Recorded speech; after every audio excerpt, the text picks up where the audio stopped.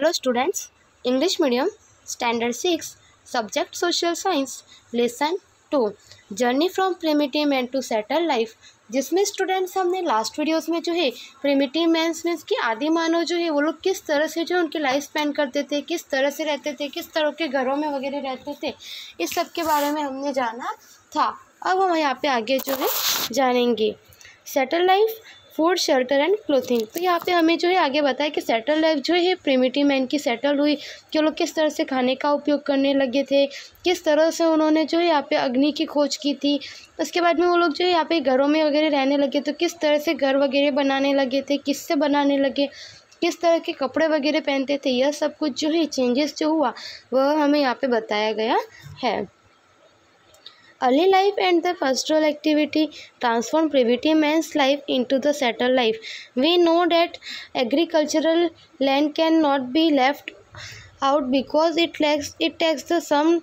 time for the crop to grow to grow it need water and crop have to be harvested when the grains are ready तो यहाँ पे हमें क्या बताया है कृषि की शुरुआत जो हुई खेती की और पशुपालन की जो प्रवृत्ति एक्टिविटी वगैरह हुई, जिससे आदि मानव ने जो है भटकता हुआ जीवन जो है, वह छोड़कर अब वो लोग जो यहाँ पे स्थायी रूप से निवास की तरफ़ जो है, उनके जीवन में परिवर्तन होने लगा। कि वो पहले जो है जंगलों में वगैरह हर जगह भटकते थे, वह सब जगह जो है भटकना छोड़कर वो जो है घर वगैरह बनाकर रहने लगे थे। इस तरह से जो परिवर्तन हुआ। और हम जानते हैं, यहाँ पे बताया गया कि कृषि के क्षेत्र में जो है, यहाँ पे कृषि जो है उसके लिए यहाँ पे स्थान छोड़ के जो है वो लगे एक स्थान से दूसरी तरफ़ जो है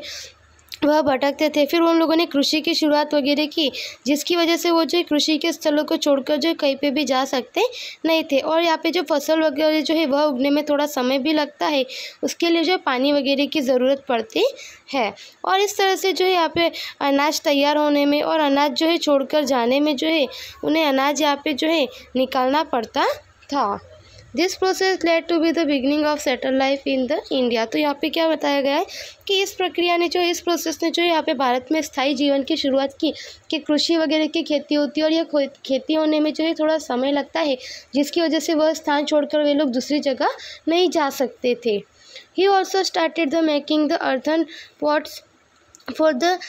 uh, for the storage of grains as the wandering life came to an end there was a widespread change in their food habits clothes and the shelter तो यहाँ पे क्या बताया हमें कि इस तरह से उन्होंने जो है यहाँ पे अर्थन पॉट्स वगैरह जो है, यानी कि जो गैस यानी अनाज वगैरह जो होता है, वह जो है स्टोरेज करना उन्होंने शुरू कर दिया था, जैसे गेहूँ, दलहन वगैरह जो भी होते हैं, वह सबको उन्होंने जो यहाँ पे स्टोर करना शुरू किया। उसके बाद में जो है, उन्होंने यहाँ पे जो है भटकता हुआ जीवन छोड़कर जो स्थायी रूप से निवास होने लगे थे। इस तरह से उनके खाने में, उनके हैबिट वगैरह जो थी, उसमें उनके जो है कपड़े वगैरह जो था उस समय में, उसमें एंड उनके जो शेल्टर यानी कि जो किस तरह से घरों में वगैरह रहते थे उस सब में भी यहाँ पे चेंजेस होने लगा था।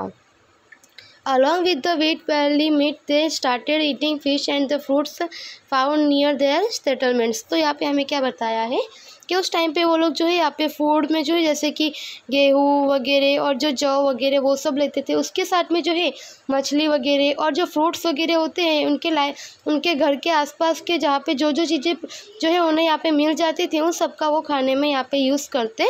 थे। He lived in house made up of a mud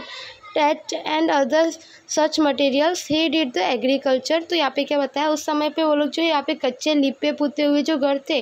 वैसे घरों में वगैरह जो है, उन्होंने रहना भी शुरू किया था। और इस तरह से जो है, उन्होंने यहाँ पे एग्रीकल्चर यानी खेती की शुरुआत की, कृषि की शुरुआत की, कृषि वगैरह करते थे। He made the farming implements of a stone which include the spade chisel and the sickle the following table shows us the places in India the where grain shelter weapons and the remains of a animal have been found तो यहाँ पे हमें क्या बताया गया है कि इस तरह से जो है वो लोग यहाँ पे खुरपी और जो होते हैं जैसे जैसे कि जो अलग अलग हल वगैरह होते हैं, इन सब का भी जो है इनमें समावेश होता है। जिस समय में धीरे धीरे शुरू हुआ था खेती के काम में आने वाले जो हथियार वगैरह है, वो सब। उसके बाद में यहाँ पे बता कि नीचे बताए गए कोष्टक में जो है, भारत में ऐसी जगह जो है बताने में आई है कि जहाँ पे अनाज, उनके रहने के जो है यहाँ पे जगह वगैरह और औजारों वगैरह के जो है हमें अवशेष वगैरह एविडेंस वगैरह मिले हुए हैं। तो यहाँ पे ब्रैकेट में ये सब बताया गया है।